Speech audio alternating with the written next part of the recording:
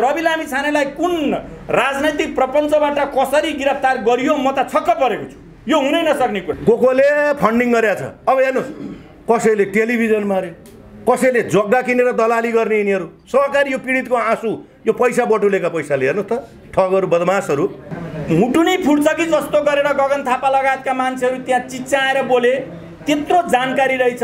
ए हेरेन हो। बसेकाहरू यी ठगहरूलाई भ्रष्टहरूलाई नेक्सस तनाउनेहरूलाई दुईटा बाख्रा पैँचो ल्याएर त्यो अनुगमनका बेला गएर देखाएर फोटो खिचाएका। चारवटा काउलीको भोट अर्काको देखाएको। यस्तै यस्तै मान्छेहरूलाई अनि त्यसपछि अनुगमन सकेर गइसकेपछि छैन। ठगहरूलाई कानुनको दायरामा खोजेर ल्याएपछि चारतिरको कानुन सबैतिर मिलाएर राम्रो काम गर्नलाई कसले रोकेको छ? प्रमाण लिएर प्रहरीकामा जाँरी लिएर गयो। बुझ्दैन। किन बुझ्दैन भन्दाखेरि ऊ ठुलो मान्छे हो अरे। काम गर्न सकिन्छ। तर अगाडि बढ्नु पर्यो नि। किन भन्दाखेरि हाम्रो त जागिर जान्छ हजुर त्यस्तो मान्छेको जारी बुझ्दैनौँ। अब त्यही जारी मेरा विरुद्धमा पर्यो भने त्यही जारी तपाईँका विरुद्ध पर्यो भने इभन अहिले जागिर गइसकेपछि रिटायर लाइफमा उहाँ सर्वेन्द्रनाथ खनालज्यूको विरुद्धमा पर्यो भनेदेखि हामीलाई गिरफ्तार गर्छ। नब्बे प्रतिशतमा काङ्ग्रेस एमाले र माओवादीको कम छ। हामी म त्यो अध्ययनको हामी डाटा देखाइदिन्छौँ। काङ्ग्रेस एमाले माओवादी र अहिले घन्टा यो तिनवटा पार्टीमा लागेका मान्छेहरूको लागि एउटा कानुन तपाईँ हामी जस्ता भुइँ मान्छेको लागि अर्को कानुन बनाइदिए हुन्छ। संसद सांसदको पैसा बढाउनु पर्यो भनेदेखि रातारात चारपटक पाँचपटक बढाएको हामीलाई थाहा छैन। हामी तिथिमिति सहित भनिदिन्छौँ नि त। उनीहरूको भत्ता बढाउनु पर्यो भनेदेखि। त्यो अध्यादेश मार्फत बढाएको छ। भने सहकारी पीडितको पैसा फिर्ता गर्नको लागि नेपाल सरकारको विल पावर भयो भनेदेखि इच्छा शक्ति भयो भनेदेखि नसक्ने होइन सक्छ। दुई पटकमा पनि मैले जारी दरखास्त दर्ता गराउन सकिनँ। अनि पछि बुझ्दै जाँदाखेरि ती मान्छे नेपाल कम्युनिस्ट पार्टी एकीकृत मार्क्सवादी लेनिनवादी एमाले भन्ने खड्गप्रसाद ओलीको पार्टीको एकदम नजिकका मान्छे रहेछ। प्रहरीसँग अलिक बढी बुझ्दाखेरि चाहिँ अब यो पार्टीसँग जोडिएका मान्छेहरूको यस्ता जाहेरहरू धेरै आएका छन् हामीले लिएको छैन। सिधा सिधा। यो अहिले राजनीतिक बार्गेनिङका आधारमा कहाँ के कता नमिलेर मैले दुईवटा कानुन हुनु पर्थ्यो भन्ने सन्दर्भमा उहाँलाई यो पक्रेको चाहिँ गजब भएको छ। गिरफ्तार गरेको चाहिँ गजब भएको किर्तेर ठगे भनेर लिएर आइयो नि त त्योभन्दा अगाडि त यी सबैको खुल्या थिएन नि। खुट्टा नकमाई बढ्नु पर्यो नि। भएका कानुन पनि पर्याप्त हुन्छन् तर सबै निकायहरूले इमान्दारीका साथ राख्नु पर्यो। छैन भने तत्काल कानुन बनाउनु त अहिले त झन् केले रोकेको छ? यत्र सांसदहरू गणपूर्वक सङ्ख्या छँदैछ त जति के गर्नलाई राम्रो काम गर्नलाई? यहाँ धेरै लामो समय लिएर यो सहकारी पीडित र सहकारीको पीडाको सम्बन्धमा मैले व्याख्या गर्दैन। मभन्दा पछाडि धेरै मभन्दा आदरणीय वक्ताहरू हुनुहुन्छ। यो एउटा मलाई अहिले पूर्व वक्ता हाम्रो आदरणीय मित्र अधिवक्ताजी हुनुहुन्छ। उहाँले पनि भन्नुभयो सरकार निजी क्षेत्र र सहकारी यो कोअपरेटिभलाई एउटा लामो समयसम्म यो बजेट को समयमा बजेट ल्याउँदाखेरि नेपाल सरकारले यो सहकारीलाई एउटा नेपालको आर्थिक प्रणालीमा एउटा पिल्लरको रूपमा स्थापित गर्दै गर्दै गर्दै आयो र त्यसमा दिग्गज विद्वान अर्थमन्त्रीहरूले यो कुराको प्रक्षेपण गर्ने गर्थे कि सहकारीले नेपालको अर्थतन्त्रमा ठुलो टेवा पुर्याएको छ र सहकारीबाट यो तिनवटा पिल्लरको रूपमा रहेका निजी क्षेत्र सरकारी क्षेत्र अनि त्यस पछाडि सहकारी कोअपरेटिभबाट नेपालको अर्थतन्त्र सञ्चालन भएको छ भनेर एउटा लामो समयसम्म सहकारीलाई नेपालको आर्थिक प्रणालीमा र अर्थतन्त्रको दिगो विकासको लागि एउटा महत्त्वपूर्ण माध्यम र स्रोतको रूपमा अङ्गीकार गर्यो नेपाल सरकारले।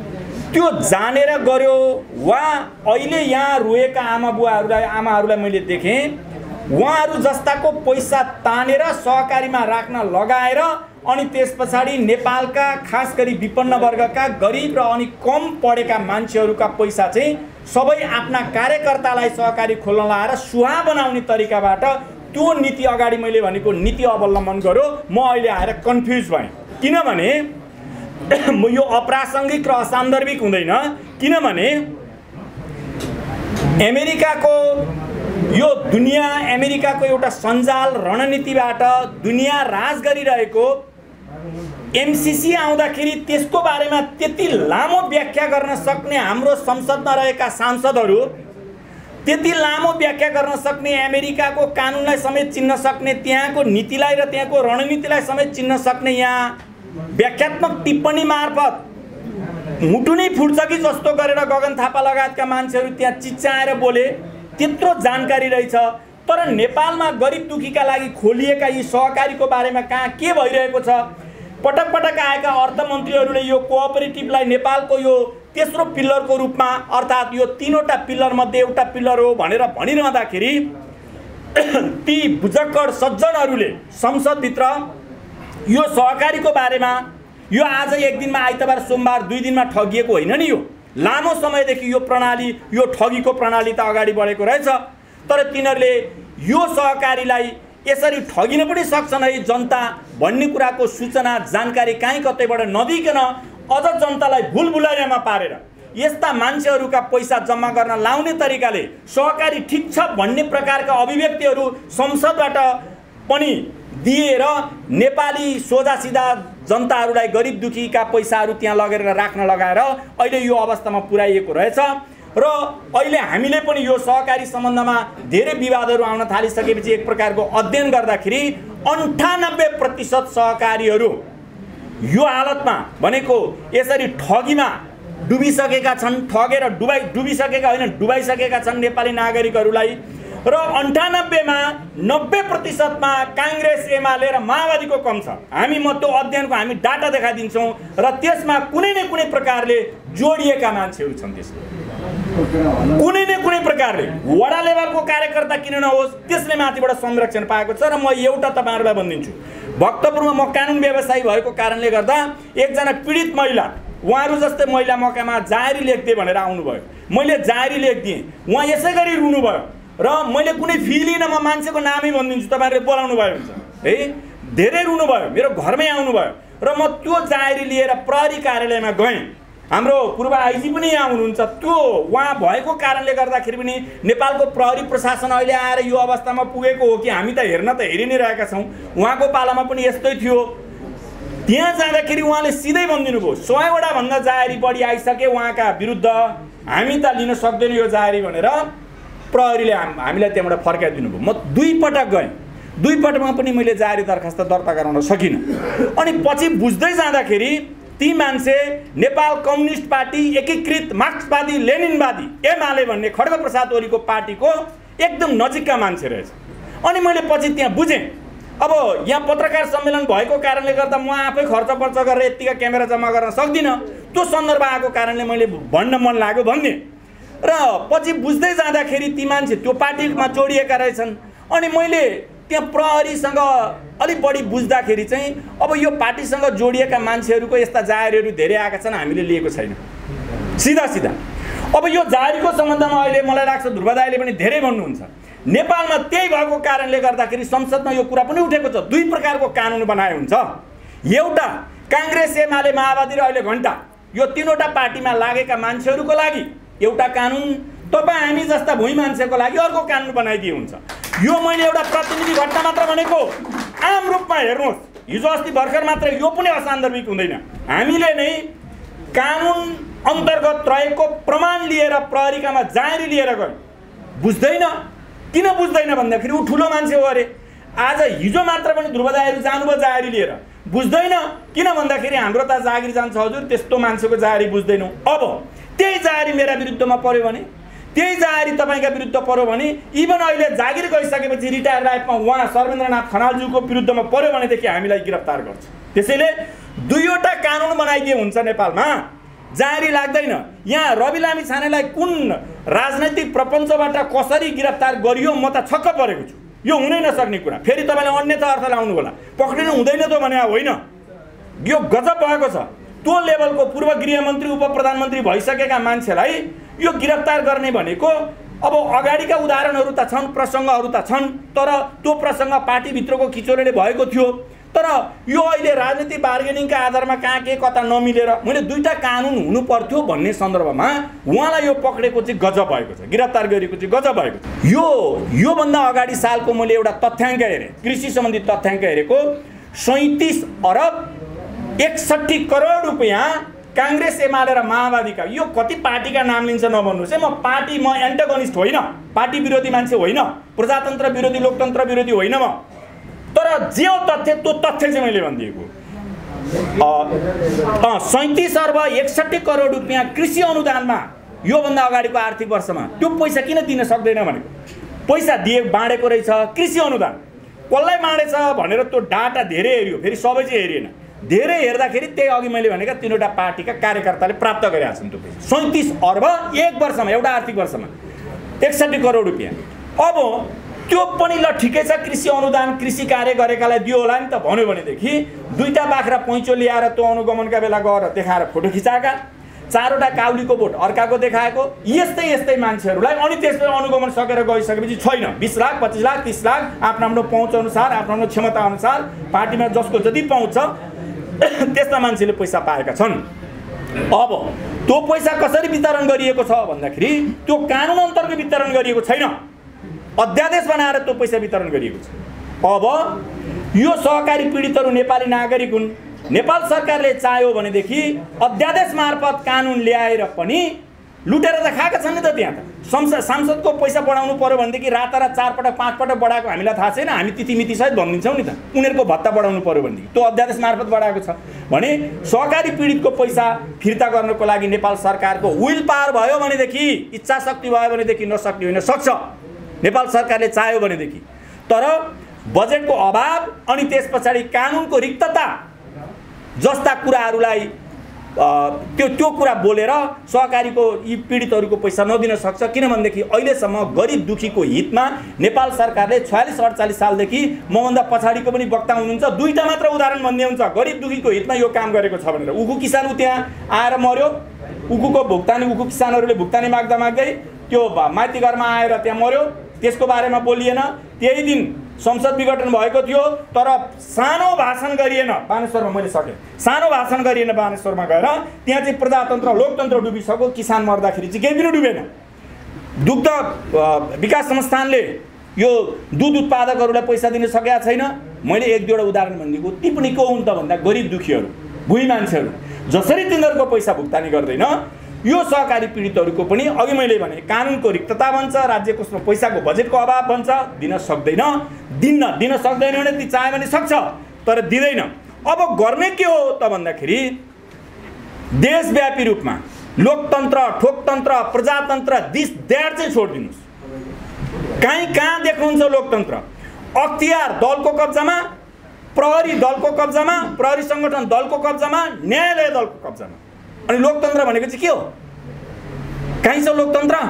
हो लोकतन्त्र कसलाई छ भन्दाखेरि त्यो वर्गका मान्छेहरूलाई छ जो शासन सत्तामा आफ्नो पहुँच बनाएका छन्। त्यो वर्गभन्दा अरू मान्छेहरूलाई लोकतन्त्र छैन। त्यसैले कानुन दुइटा हुनुपर्छ पनि अगाडि मैले भन्ने।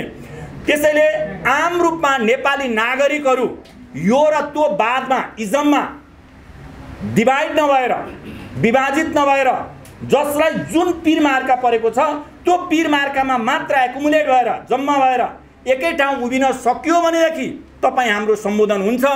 क्यामेराका अगाडि आइसके पछाडि पत्रकारको अगाडि आइसके पछाडि अरूले ताली बजाइदिउन् भनेर म चाहिँ बोल्दैन। होइन भनेदेखि हामी रुन्छौँ मेरो पनि डुबेको छ सहकारीमा हामी रुन्छौँ कराउँछौँ। हामी एक नेपाली नागरिक एक हुन नसक्ने हो भनेदेखि दलमा विभाजित भएकै आधारमा हामीलाई लुट्छन्। त्यस कारणले गर्दाखेरि हामी भुइँ मान्छेहरू एक भएर यो सबैको यो त होइन सबैको विरुद्ध लड्न सक्नुपर्छ। यदि त्यो लड्न नसक्ने हो भने तपाईँ हामी एकअर्कामा आफ्ना दुःखहरू सेयर गर्ने यसै गरी त्योभन्दा केही पनि उपलब्धि हुँदैन। मैले यो तितो मिठो के के बोल्ने थाहा छैन तर यो मलाई लाग्छ वास्तविकता यो जस्तो लाग्छ। मैले यति यति नै धारणा राख्दै अब समय पनि अभाव छ। त्यो भएको कारणले गर्दाखेरि मैले आफ्ना भनाइहरू यतिमै टुङ्गाउने अनुमति चाहन्छु। धन्यवाद। थ्याङ्क यू अर्को मन्त्री भएको नजाने भन्ने छ र। सबैले जानुपर्छ कानुनको आधार के भन्ठान यहाँ? हो गर्नुपर्छ। यदि अब यसको विषय त आज आएको छैन अर्को कुनै दिन भयो भने फेरि सबै अस्ति बोली पनि सकेका छौँ यस्तै मिटमा। त आज सहकारीको विषयमा अब तदारुकता साथ यसलाई पीडितहरूलाई न्याय दिनका लागि अग्रसरतापूर्वक जान सम्मानीय प्रधानमन्त्रीज्यूलाई यसै मार्फत सचेत पनि गराउँछु अनुरोध पनि गर्न चाहन्छौँ। र यसमा ढिला सुस्ती नहोस्। यदि हाम्रा यी नागरिकलाई बचाउन सकेन भने हामीले अभिभावकत्व लिएको कुनै सार्थकता हुँदैन। यति भन्दै तपाईँहरूको अब आन्दोलन भन्नाले बसेर हामीले बिचमा आएका छौँ। यो आन्दोलनले कुन रूप लिने भन्ने विषय सकभर यसरी सडकमा आउनै नपर्ने हो। राज्यले आफैले हेरिदिनु पर्ने हो। राष्ट्र आफैले हेरिदिनु पर्ने होइन र यो? सरकार बादी भएर हेरिदिनु पर्ने होइन पीडित र ठगहरूलाई कानुनको दायरामा खोजेर ल्याएपछि चारतिरको कानुन सबैतिर मिलाएर राम्रो काम गर्नलाई कसले रोकेको छ? ललिता निवासको प्रहरीको उसमा थियो र सिधै थिएन नि त। तर त्यहाँ अनुसूची पहिला त्यतिखेरको फौजदारी संहिता दुई हजार चौहत्तरलाई आकर्षित हुने गरेर किर्ते र ठगे भनेर लिएर आइयो नि त। त्योभन्दा अगाडि त यी सबैको खुल्या थिएन नि। त्यो पहिला त्रिताला आयोगले गरेको विषयमा मात्र खुलेको थियो त्यो भ्रष्टाचार चाहिँ चाहिँ आकर्षित हुन्थ्यो। त्यसमा नि छुट भइरहेको थियो। त्यस कारण यति भन्दै सहकारीको पीडित यो पीडकहरूलाई फेरि यिनका भोलि त देखिन्छ नि त फेरि। को कोले फन्डिङ गरेछ अब हेर्नुहोस् कसैले टेलिभिजन मारे कसैले जग्गा किनेर दलाली गर्ने यिनीहरू। सहकारी यो पीडितको आँसु यो पैसा बटुलेका पैसाले हेर्नुहोस् त ठगहरू बदमासहरू। ठुला ठुला यिनीहरूका प्लटिङ गर्ने यहाँ मात्र भएन ब्याङ्ककमा गर्ने यहाँ मात्र भएन दुबईमा गर्ने। यहाँ टेलिभिजन राखेर फेरि तर्साउन पनि जाने। के के हो के के यो पैसाको गर्ने? अनि यिनीहरू मन्त्री र सांसद बनाउन यिनीहरू हिँड्ने। किन पैसा छ? मैले भनिरहेको छु द्वन्द्व पश्चात पनि मुलुक। यो नियन्त्रण भएन भने यो अपराधीहरूको उसमा जान्छ हातमा जान्छ। शासन भएका छन् बाहिर मुलुकहरूमा द्वन्द्वग्रस्त मुलुकहरूमा। पाँचवटा त युएनको मुलुकमा हेरेर एडभाइजरी काम गरेर आएको हुनाले अनुभवसहित भनेको। ए हेरेन हो। बसेकाहरू यी ठगहरूलाई भ्रष्टहरूलाई नेक्सस तनाउनेहरूलाई यातायातकै सञ्जाल थिएन तोड्न सकिन्छ र भनेको थिएँ। आइजी हुँदा तोडिन्छ भने। एकैचोटि छजना समातेर ल्याएर त्यत्रो नेटवर्क तोडिएको होइन र काम गर्न सकिन्छ। तर अगाडि बढ्नु पऱ्यो नि। खुट्टा नकमाई बढ्नु पऱ्यो नि। भएका कानुन पनि पर्याप्त हुन्छन् तर सबै निकायहरूले इमान्दारीका साथ राख्नु पर्यो। छैन भने तत्काल कानुन बनाउनु त अहिले त झन् केले रोकेको छ? यत्र सांसदहरू गणपूर्वक सङ्ख्या छँदैछ त जति के गर्नलाई राम्रो काम गर्नलाई त्यसकारण अब भन्दा भन्दै आउँछ हेर्नुहोस् धेरै कुरा। तपाईँको समय पनि नलिउँ। तपाईँहरूको एकबद्धता मन्त्रमा तपाईँहरू साथ साथमा छौँ। र समयमै यो आँखा खुलोस् के कान खुलोस् त भनिरहेको हो फेरि भन्नु पऱ्यो होइन? किनभने यहाँ तपाईँहरू सबै हुनुहुन्छ। छुट्टै पनि हुनु होला आँखा कान बन्द गरेर बस्ने काम नगर्नुहोस्। यस्तो दिन आउला बाहिर हिँड्न नसक्ने आएछ भने अनि आफैले आफैलाई धिक्कार गर्दै बस्ने दिन तपाईँलाई नआओस्। आइहालेछ भने तपाईँ नै जिम्मेवार। यति भन्दै अहिलेलाई बिदा हुन चाहन्छु। र फुस्लभ केसीले गरेको। मैले नि हेरेँ प्रहरी भएर कहिले कहिले कुरा आउँछ? एउटा कुरा गरेर गएँ है डाक्टर साहब? ध्रुव सर। धेरै उन मान्नु होला। के भयो भने बिचरा यो त अध्यक्ष भइरहेछ। मरेन त मर्न लागिसक्यो अब त। अझ के भएछ भनेर लेखेर त्यो हस्पिटलमा सलाइन पनि चढ्दैन पहेँलो भइसक्यो। अझै के भएछ बुँदा भनेर हेर्छ क्या बिचरा। अनि मैले भने पहिला ज ऊ त बचाउँ जीवन। अनि आन्दोलन गर्ने कुरा छ है भनेको छु। पीडितहरू बुझ्नुहोस्। यदि कहीँबाट घोटाला भएको छ यो महाअभियानले भने भन्नुहोस्। हामी पनि भोलि हात दिन्छौँ।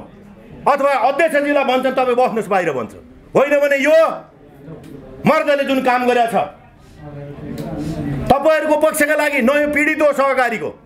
पनि म जस्तै। यहाँ हुनुहुन्छ धेरै। त्यसकारण त्यसलाई खुला हृदयले सबैको समस्या हो यसले अग्र नेतृत्व गरिरहेछ। यहाँ कुनै नेता र विषय होइन। भावना पनि त हुन्छ। यो देशमा के चोरै चोर मात्र छन्? तपाईँ हामी बसेर चोर हौँ र? सबैलाई चोर पनि नभन्नुहोस् न। राम्रा राम्रा मान्छे चाहिँ मिल्नु चाहिँ पऱ्यो। कुरा यो यति भन्दै कुशलभले जुन निर्णयहरू गर्ने क्रममा तपाईँ हामी बसेर नै गरिएका छ अगाडिका दिनलाई सशक्त रूपमा लाने गरी अगाडि बढोस्। यो फिर्ता पैसा फिर्ता होस्। पैसा फिर्तासँग यिनका धन सम्पत्ति राष्ट्र ब्याङ्कले फ्रिज गरेर सरकारले लिनुपर्छ कि त्यसको चाहिँ बेचबिखन गर्नुपर्छ कि? के के गर्नुपर्छ? एडिबिसीमा उहाँ ब्याङ्क उसँग लोन लिनुपर्छ कि? स्विजरल्यान्डको ब्याङ्कसँग अहिले आएर हामीले पनि थाहा छ म पनि युएनमा पाँच वर्ष काम गरेर आएको। युएनमा हेड क्वार्टरमा मैले पनि बुझेको छु त्यहाँ गएर के गर्यो भने नेपालको सहकारीलाई कसरी सहयोग गर्छ भन्ने मलाई पनि थाहा छ। तर अन्तर्राष्ट्रिय कण किन गर्न जाने भनेर चुप लागेको अहिले? हेरौँ न सरकारहरूले गरिराख्छ कि भनेर पो बसिरहेको त। त्यसकारण यस्ता स्टेपहरू चाल्न नपरोस्। नेपाललाई बदनाम गर्ने कामहरू सौकार नहोस् भन्नका लागि हो यो। राष्ट्रियताको सवालले गर्दा हो यो। तर कमजोर नठानियोस् यति भन्दै म अहिले बिराउन चाहन्छु। तपाईँहरू सबै हामी सबैको जय होस् उहाँहरूको उपचार गर्न पाऊँ केटाकेटीले पढ्न पाउन् पीडितहरूले कमसेकम यो आन्दोलन गरेर फेरि आफूलाई मरणा तुल्य बनाएर हस्पिटलको बेडमा उपचार नपाउने व्यवस्थाको अन्त्य होस्। भन्दै बिदा हुन चाहन्छु। धन्यवाद नमस्कार।